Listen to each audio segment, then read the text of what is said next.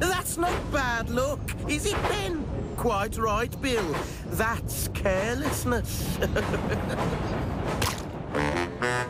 oh. At Maron Station, the Fat Controller had some strong words for Bill and Ben. Your careless work this morning has caused confusion and delay. To make sure no more crates fall off your trucks, one of you is going to have to push from the back. You can be the back engine, Ben. It was your careless driving that caused the crates to bounce off. What? No way! I'm not going at the back. okay. Things were still going well for Percy, but not so well for Bill and Ben. This is all your fault, Ben. No, it's your fault, Bill. You were pushing too hard from the back. No, you were pulling too fast from the front.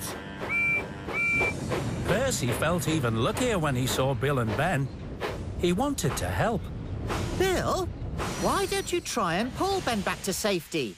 I tried that, Percy, but Ben is too heavy. I'm not heavy. Yes, you are. You weigh tons. Maybe I can pull Ben back. Are you sure you can do it?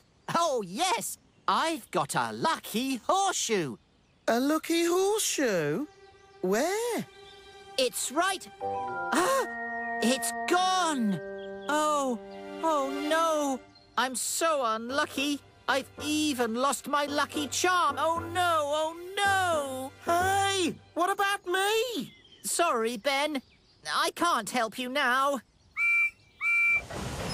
It's no good, Ben. I'll have to try again on my own.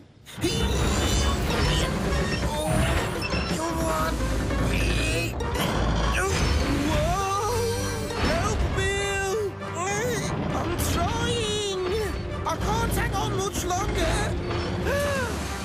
Lucky charm or no lucky charm? Bill and Ben need my help. So Percy was coupled up to Ben, and he started to pull.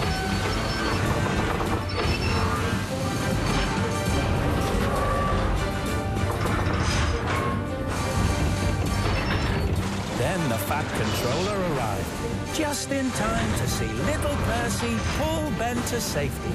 Hooray! Phew! Thanks, Percy. Yes, thanks, Percy. The Fat Controller was very impressed. Well done, Percy. Well done. You are a really useful engine. Thank you, sir. Ah, Then Percy remembered something. goodbye. Now then, you two, who is going to tell me what happened this time? It was your fault, Bill. You tell him. You're the one who came off the rails. You tell him. You pushed me. No, I didn't. Yes, you did. No, I didn't. Yes, you did. No, I didn't. Yes, you did. No, I didn't. You did. I didn't.